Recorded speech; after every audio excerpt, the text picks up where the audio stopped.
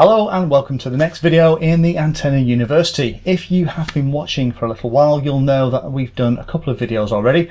This isn't my normal environment. You'll have already spotted that I'm not sat in my regular room. And this is because this is part of the Menace RC headquarters.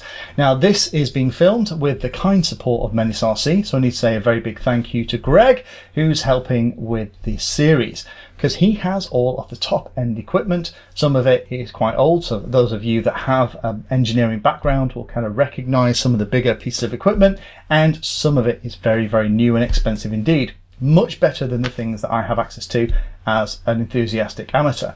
So what today's video is all about is about testing something that Greg saw at a race meeting last year. And what we'll do is I'll kind of play a video as Greg's talking to actually show you what's going on. And what it's all about is that occasionally you will find that phantom FPV channels will appear. So if you and your mate are flying and you're flying together, you might find that you are picking up a third kind of combined signal that potentially could be outputting at the same frequency that someone else is trying to use for their FPV experience as well, and you can step and stomp all over their experience. So in this video, I'm going to hand over to Greg just to talk a little bit about how he discovered this. And while he's talking, I'll give you a practical demo of what you can see if you're running two FPV channels at once. Sometimes you can get a phantom one actually appearing as well. So Greg, thank you very much for the time. Do you want to just explain how you, because when you first explained this to me, it sounded like black magic. And we've just done the test. Yeah. Um, and I've seen it myself. So I'm not sure that this is something that lots of people are even aware of. So can you talk a little bit about the background of how you found this out? Because this is something you only uncovered about nine, ten months ago, isn't it? Yeah, it, it, we we uncovered it um, quite recently, and I wasn't aware of it. Um, I was aware of having problems when flying with friends, um, but yeah, this basically what it was. Um, a few weeks ago, I was with Andrew Hyams from LDO, and we were down at Popham. And whilst we we're at Popham, we were doing some testing to find the perfect pilot position for the FPV course that they've got down there. So this was FPV racing, five inch racing quads, standard stuff. Everyone's going to be using race band one, two, three, four, five, whatever. Yeah. And where where the best place for everyone to stand and sit is. Yeah, that's it. Because um, and Andrew gets involved with uh, the mini air show, which they hold at Popham, and then they have like a, a team race. And a part of that team race is that you've got teams. Each team has two frequencies, so they wanted to use all eight eight race bands. So we went down with a load of VTXs and a load of guys were flying as well. So what we were trying to do is find the worst scenarios of um, frequencies flying and then find the best location for the pilots. Um, whilst doing this, um, we were experiencing uh, interference. So on other channels where we didn't even have VTXs on, and it was quite um, it, it was quite uh, an overpowering weird signal, and it was affecting people. So the, the discovery with it, you know, when, when we were down there, sort of led us on to think, well, we need to look into this a bit further. So after we'd finished that day, we'd obviously found the, the, the best position for the pilot, so job done there. But um, me and Andrew carried on discussing online about these mystery frequencies that are appearing. Andrew sent me over some information um, about IMD, which is intermodulation distortion. And effectively, what this is, is where you have um, two frequencies in your receiver, because your, your antenna and everything on your receiver will receive all the frequencies, but it will receive the, the, the, two, and then within your receiver, in your goggles or your screen or whatever it is, um, you will get these IMD frequencies, and they can be very, fairly straightforward to calculate what these are. But what we found was that if you put on, say, race band, a couple of race bands, there was this other one appearing at one of the other race bands. So when you go to put your um, VTX on on that race band, we were experiencing interference and problems. So the test that you've just shown me and we've just kind of reproduced here. So what we did, first of all, we plugged in Raceband 1 Yeah. and uh, fire up the little screen and you can see we put a little uh, number in front of it so we can see which is which, which is helpful, hopefully for those of you watching. Um, and that all worked tickety-boo. And you can see on the uh, RF analyzer that frequency burst into life.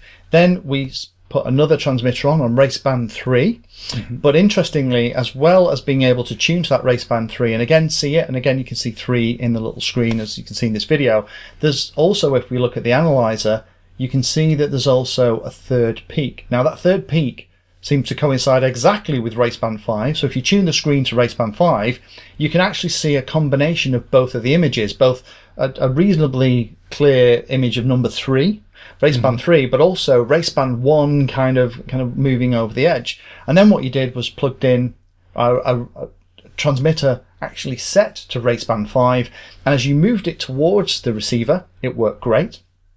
And then as you moved it far away from the receiving antenna, you had the phantom signal overpowering the actual real antenna that was on Raceband 5. So say for example there's three of at the field, I'm on Raceband 1, you're on Raceband 3, Andrew or somebody else on Raceband 5. When me and you started out and fired everything up, Andrew might be okay with his quad by his feet when he fired up Raceband 5, he can see everything fine. But as soon as he got the other side of the field, where our two quads were our side of the field, his signal would be over, uh, uh, would be swamped, I guess, by this phantom signal that you and I are accidentally creating. Is that what you were seeing at Popham?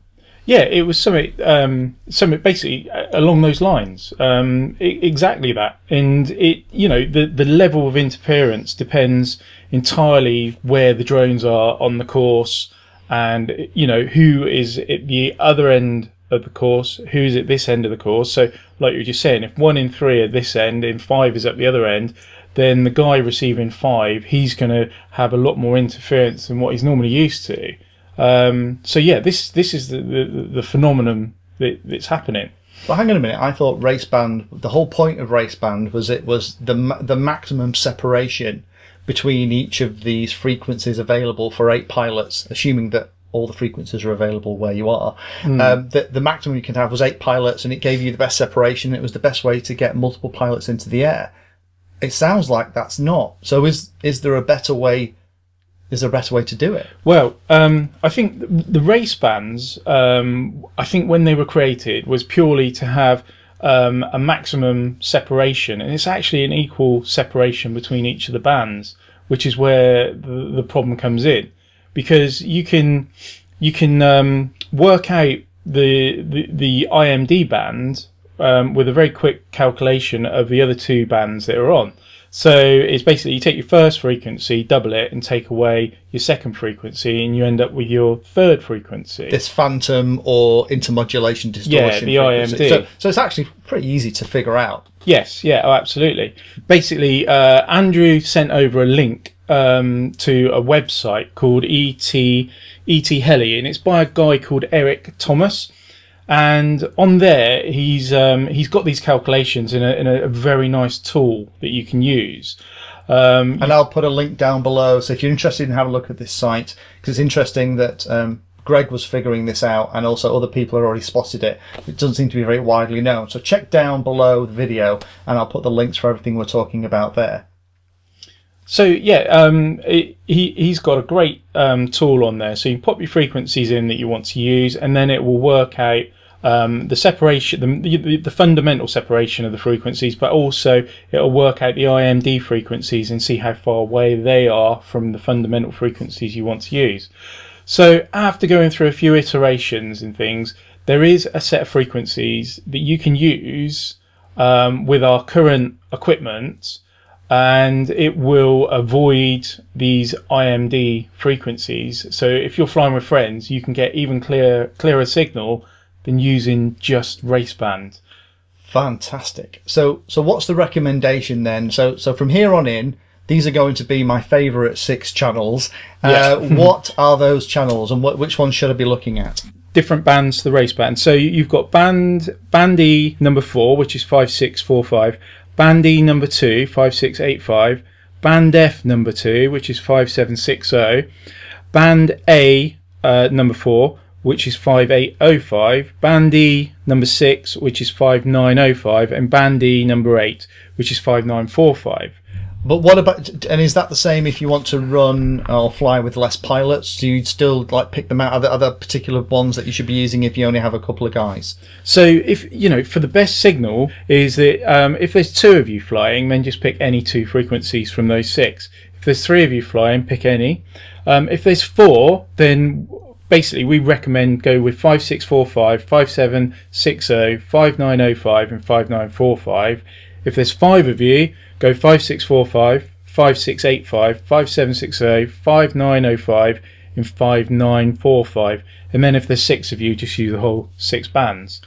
Fantastic. That's pretty easy then. So mm-hmm. so all I need to do is in my Fat Shark goggles, you can save favorite channels and all I need to do then is make sure that those are the six. So, so the way it works then, just so I've got this right in my head, is because of the way these um, intermodulation frequencies work, is because of the equal spacing of raceband, it actually works against you getting multiple pilots up. But the way the spacing of those means that all of those frequencies are not on where those IMDs from the other pilots would be. So you kind of you, you kind of dodge the bullet every time with all six frequencies. Is yeah. that right? Yeah, absolutely. I mean, the six frequencies have fundamental spacing, but they've also taken into consideration spacing for the IMD frequency as well. It will give you those six frequencies give you the best of both worlds.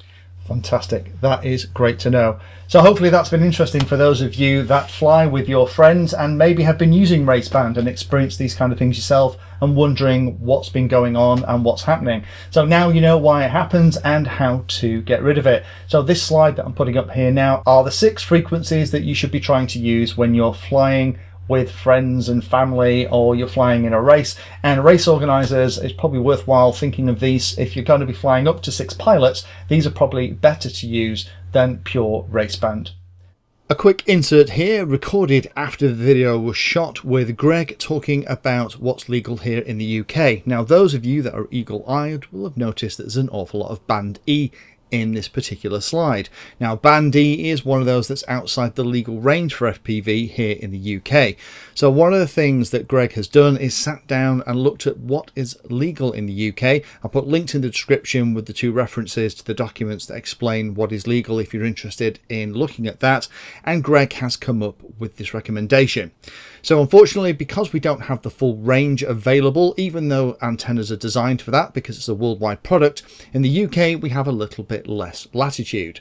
The first thing to think about is if you're going to be running with two pilots, and then actually raceband isn't a bad idea, but the recommendation is use raceband 3 and 6 to avoid the kind of problems that you see.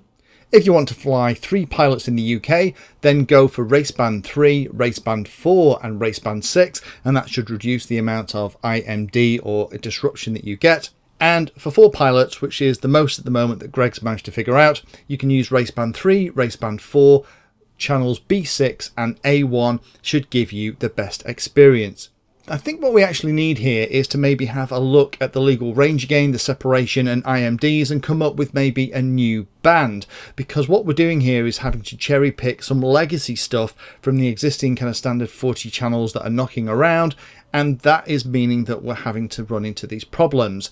There's an opportunity here, I think, in the modern hobby for us to come up with a brand new set of eight frequencies within the legal range that actually would work together and allow eight pilots to fly. So that's something that Greg and I will continue to work on and hopefully if we get somewhere with it, I'll make another video. So thank you again to Menace, thank you to Andy, and thank you to Eric uh, for actually doing all the hard work and figuring this out. And thank you particularly to Menace RC for helping me figuring this out and actually putting this demonstration together.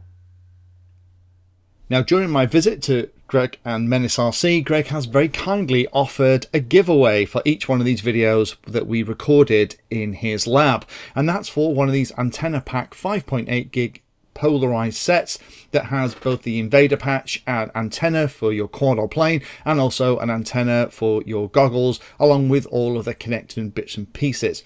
Now these normally retail for about 30 quid and if you're interested in being in for a chance to win this one on this particular video then do three things. Like the video, pop a comment down below and make sure you're a subscriber to the Painless 360 channel. Also make sure that you've got the bell notification icon ticked so you don't miss any of the videos as they come out or announcements about prizes or winners too.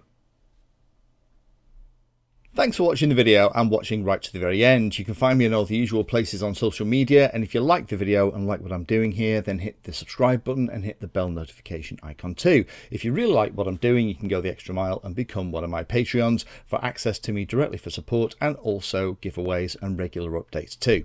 If you're looking for particular content, then check out the playlist. I organize all of my videos into playlists, so if you're looking for a particular topic, you can find everything here. If it's called Introduction to, it's designed to start very simply and build on that simple introduction to teach you all about it. If it's called For Beginners, then that is really aimed at people who are brand new to that part of the hobby.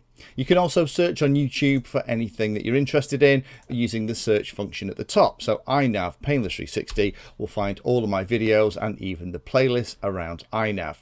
So thanks again for watching and happy flying.